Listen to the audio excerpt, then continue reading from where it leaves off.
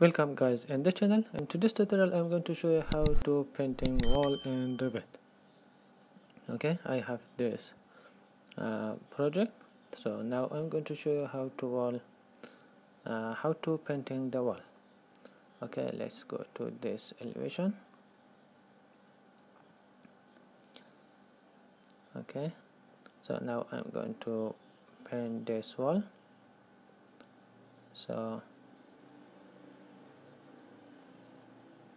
first I'm going to uh, paint all the wall. So from here let's select this kind of color. If you click in here you can see all the wall will painting like this okay?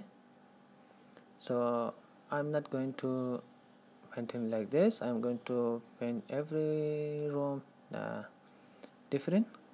So to do this uh, let's separate the wall click to the separate face and then click to the wall and then draw a line to separate every room from each other.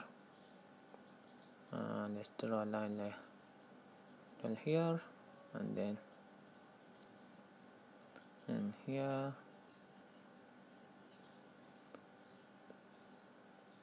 okay and then it's finished and then again continue the same methods for this wall. Okay and then let's apply this part as well. Have to separate the wall that uh, you create uh, straight for one click. Okay so now all the wall is separated so now I can paint the wall different okay with different color. So let's paint let's find a color from here. Select the pen. So let's use this blue color for this room. As you can see that's only this room painting okay and this part. Okay? And for this room let's select different. Maybe yellow like this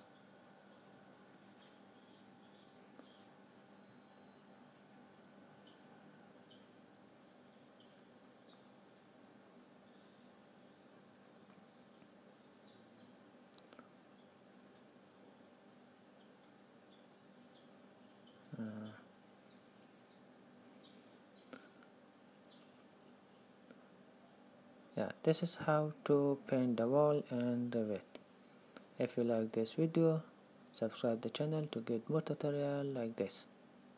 Thanks for watching